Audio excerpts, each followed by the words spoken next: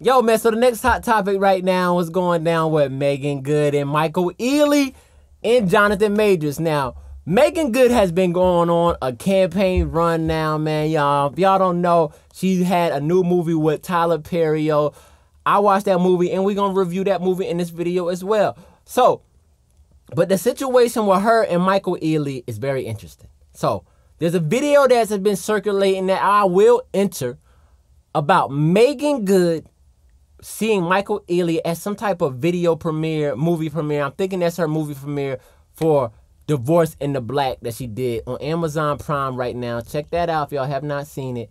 Yo, check that out. Um, she giving it up on that video. In that video, you can see there's Meagan Good, Michael Ealy, some other people, and Jonathan Majors. The first video we seen was Meagan Good getting swept up off her feet by Michael Ealy. Now, y'all know Michael Ealy is the nappy headed, pretty eyed dude that all the girls love, lust after, bro. I'm just gonna keep it a bean, bro. Most girls lust after this guy. So when I seen Meagan Good say, oh, like she was excited to see, bro. Like she ain't seen him in ages. And the whole time Jonathan Majors had to just sit there and he had to eat it. He looked very awkward in it. Now, maybe Meagan Good felt like she was still in the movie, yo. If y'all have watched Divorce in the Black, y'all gonna understand what I'm talking about. But if you have not watched it, make sure y'all watch it so y'all can kind of feel the role that she just played. So she might have been still in character. So she see Michael Ealy. They got some type of relationship because they was in multiple movies with each other. When she see him, I just think she overdid the excitement that any boyfriend, which is Jonathan Majors, would want to see in that current moment. In that current moment, I don't want to see my girl fanned out. I don't want to see my girl hugged up with another man getting swung around and then in a 360 and then landed perfectly on her feet. That's just me. Call me insecure, call me what y'all want. No man wants to see that, ladies. If you see a man that you had a connection with, you know what you do? Handshake it. All this hugging, we ain't with it.